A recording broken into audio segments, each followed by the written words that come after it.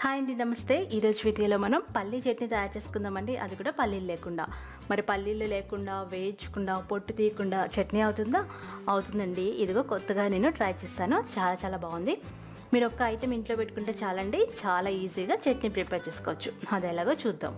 ముందుగా మనం ఒక టేబుల్ స్పూన్ నూనెని వేడి చేసుకోవాలి.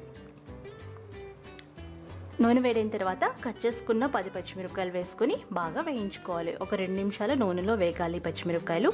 పచ్చిమిరపకాయలు ఎప్పుడు కట్ చేసి వేయించుకోవాలండి. లేదంటే మన మీదకి వస్తాయి. మీరు డైరెక్ట్గా వేస్తే మూత పెట్టి మగ్గించుకోవాలి. ఆ తర్వాత అందులో మూడు టేబుల్ స్పూన్ల పచ్చిశనగపప్పు కానీ పుట్నాల పప్పు కానీ వేసి వేయించుకోవాలి.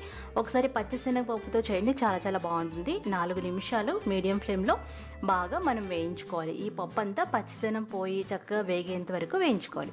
అందులో కొంచెం చింతపండు వేసుకోండి. మీరు వచ్చిన బట్టి ఎక్కువ తక్కువ వేసుకోవచ్చు. చింతపండు వేసిన తర్వాత ఒక్కసారి అలా వేయించుకోండి. వెజిటబుల్స్ కట్ చేసుకోవడానికి మాత్రం అగరో కంపెనీ వాళ్ళ నైఫ్ సెట్ చాలా బాగా యూస్ అవుతుందండి. మీరు కావాలనుకుంటే డిస్క్రిప్షన్లో లింక్ ఇస్తాను. తెప్పించుకోండి. ఇప్పుడు అందులో ఒక పెద్ద ఉల్లిపాయని కట్ చేసుకొని అందులో వేసేసి రెండు నిమిషాలు మగ్గించుకోవాలి. తర్వాత ఈ మిశ్రమాన్ని చిన్న మిక్సీ జార్లో తీసుకోవాలి. ఇప్పుడేనండి సీక్రెట్ ఇంగ్రీడియంట్ ఇక్కడ నేను పీనట్ బటర్ వాడుతున్నాను అనమాట దిసనో కంపెనీ వాళ్ళది. ఇదేనండి సీక్రెట్ పల్లీ ఫ్లేవర్తో చాలా చాలా బాగుంటుందండి. మూడు టేబుల్ స్పూన్ల వరకు పీనట్ బటర్ వేసుకోండి.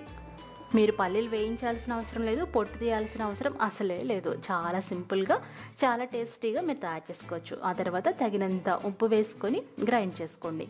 అవసరమైతే కొన్ని నీళ్ళు పోసుకొని గ్రైండ్ చేసుకోండి. అంతేనండి ఎంతో రుచికరమైన పల్లి చట్నీ రెడీ అయిపోతుంది.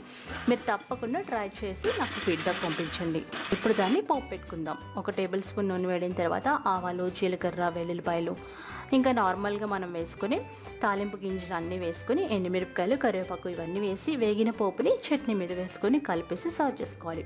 ఇడ్లీ దోశలకి సూపర్ కాంబినేషన్ చట్నీ అండి. మీరు తప్పకుండా ట్రై చేయండి. ఈ దిశనో కంపెనీ వల్ల పీనట్ బటర్ చాలా చాలా బాగుంది బాగుందండి. ఒక పీనట్ బటర్ మీరు కొనిపెట్టుకుంటే ఎప్పుడు కావాలంటే అప్పుడు చాలా సింపుల్గా మీరు చట్నీ ప్రిపేర్ చేసుకోవచ్చండి. ఈ వీడియో మీకు నచ్చినట్లయితే లైక్ చేయండి షేర్ చేయండి. అలాగే నా ఛానల్ని సబ్స్క్రైబ్ చేసుకోండి.